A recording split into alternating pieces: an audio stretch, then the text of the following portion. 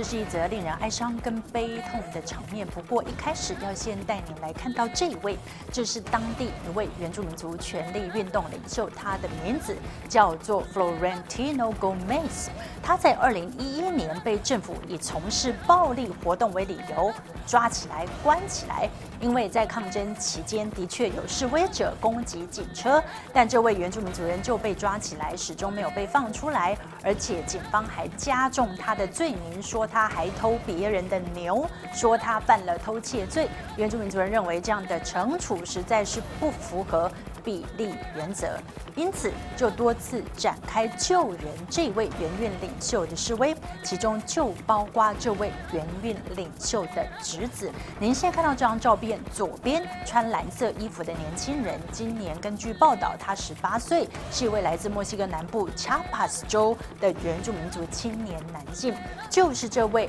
运动领导人的侄子。这个年轻人，他的名字叫做 Augustin Gomez。他就跟大部分当地的原住民族人一样，跟着他自己的父执辈，在当地以务农为生。您现在看到这个现场是鼠鼠已经被抓起来一年，二零一二年的时候，他在抗议，要求政府说必须释放他的叔叔。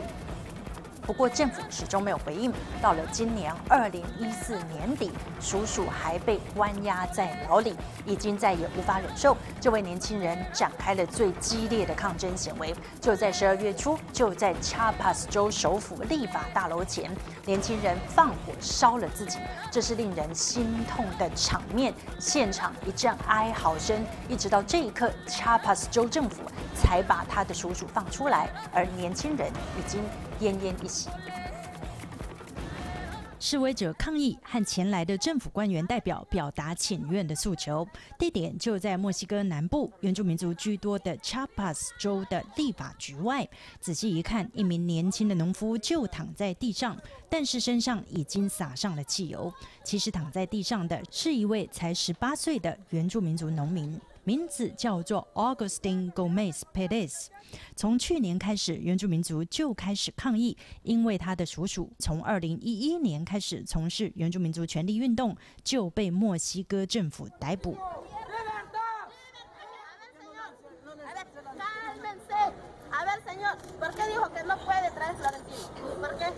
过这场示威现场气氛相当诡谲，因为这个年轻人为了抗议政府抓捕自己的叔叔，即将采取激烈的抗争手段。同行的示威者好像已经知道什么事情即将就要发生，突然开始痛苦的哭泣。就在示威者都预期也允许的情况之下，一个活生生的年轻人要求同行示威的抗议者点火把自己烧了。现场旁边围观的民众一阵惨叫跟哀嚎。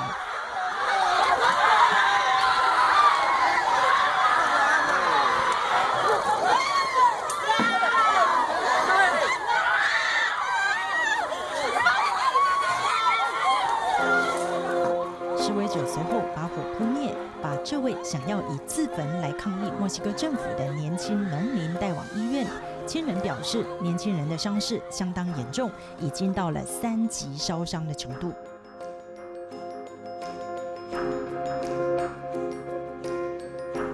这位年轻人跟其他原住民族农夫从去年就开始抗议政府逮捕他从事原运的叔叔，他的叔叔名字叫做 Florentino Gomez Gilon。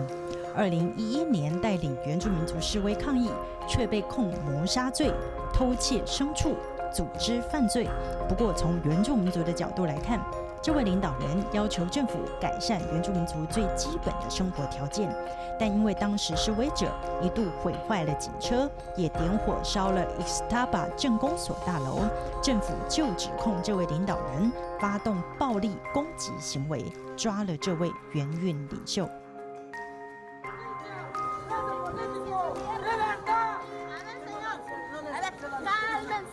不过一关就关了三年。这位原运领袖的侄子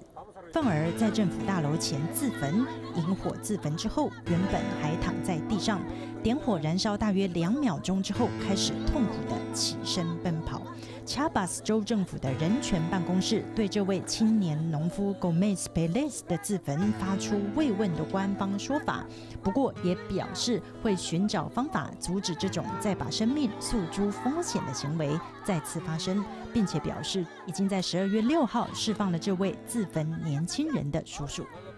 记者 Plus 林博宏整理报道。